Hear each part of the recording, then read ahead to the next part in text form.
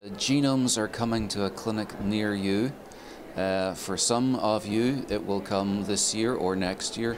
For some, it may be five years off. And for the first time, we will have sophisticated tools to make a molecular diagnosis in almost all children and therefore to be able to give them precise treatments and to be able to give precise counselling to parents about prognosis and complications. So I think it's going to improve the practice of medicine and be tremendously enriching for the healthcare profession.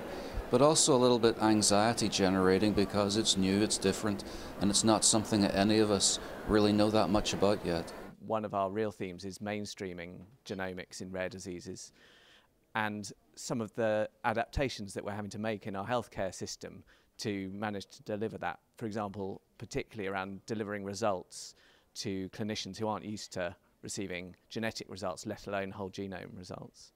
And another theme that I'm going to pick up on is our work with our academic researchers and industry, and particularly how they're beginning to work together in ways that they haven't before, and perhaps earlier in the, the process of their research. Clearly, Australia has its own unique healthcare system, its own unique demographics, uh, and so I believe every country will add to the world's knowledge and that it takes for each country to be sort of bringing along their population and their healthcare system and what makes them specific.